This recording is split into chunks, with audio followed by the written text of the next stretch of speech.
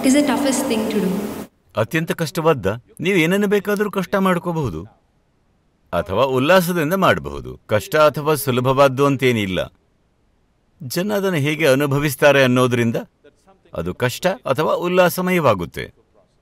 ನೀವು ನಿಮ್ಮನ್ನು ಹಗುರವಾಗಿಸಿಕೊಂಡ್ರೆ, ಜೀವನ ನಿಮ್ಮ ಹೃದಯವನ್ನು ಎಂದೂ ಭಾರ ಮಾಡಲ್ಲ. ಅದು ಹಗುರವಾಗಿರುತ್ತೆ.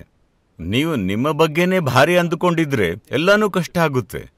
ಕೂರೋದು, ನಿಲ್ಲೋದು, ಯಾರೋ ನಿಮ್ಮನ್ನು ಹೀಗೆ ನೋಡಿದ್ರೆ ಸಾಕು, ಬಹಳ ಕಷ್ಟ ಆಗುತ್ತೆ, ಅಲ್ವಾ? ಯಾರೋ ನಿಮ್ಮನ್ನು ನೋಡ್ಲಿಲ್ಲ ಅಂದ್ರೂ ಬಹಳ ಕಷ್ಟ ಆಗುತ್ತೆ.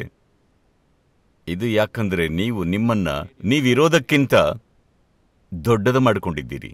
ನಿಮಗೆ ನಿಮ್ಮ ಬಗ್ಗೆ ವಿಚಾರಗಳಿವೆ, ಉತ್ಪ್ರೇಕ್ಷಿತ ವಿಚಾರಗಳಿವೆ.